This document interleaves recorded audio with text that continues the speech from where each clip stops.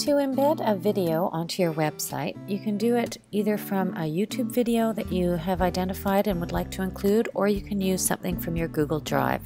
First, you need to click on the Edit Page button, and then you need to um, find the video you want to put in. I already have one here. I'm going to take it out and change it.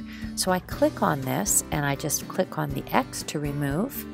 I make sure that my cursor is where I want to have my video go and I come up to insert. Now if I'm taking one from YouTube, I click on YouTube and you'll see you need the URL. I've already found a video and I have it open in another tab. It's right here. It's a uh, song about the PYP attitudes. So I'm going to copy the URL, which is up here. Remember, click on it once to highlight everything. Press Control C if you're on a PC or Command C if you're on a Mac to copy it. And then go back to your home page and paste it in here. Control V or Command V if you're on a Mac.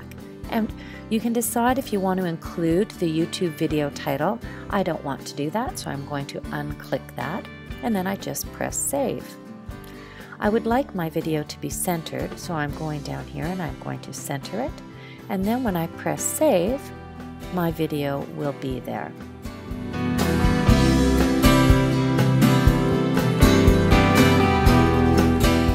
You can also include a video that you have saved in Google Drive. If you've created a video, perhaps for one of your units of inquiry or something about yourself as an introduction, you can include it on your website.